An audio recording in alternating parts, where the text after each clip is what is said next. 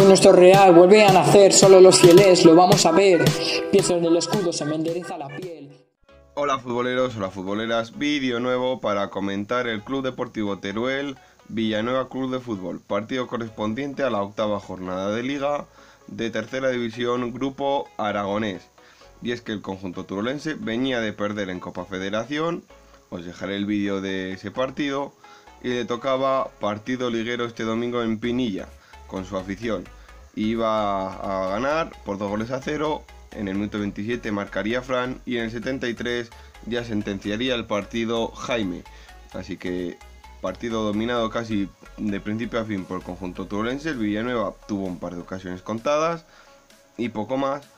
Así que el equipo de la capital turolense que dirige César Lainez va líder con 19 puntos, 6 victorias, un empate y 0 derrotas, 16 goles a favor y 3 en contra, los mismos puntos que el Sariñena, pero el Sariñena tiene una derrota.